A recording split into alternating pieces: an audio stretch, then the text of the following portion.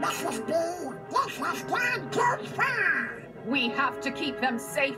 Well, that's my this? She's my granddaughter. I'll determine what's best for her. We must be ready to fight. ah!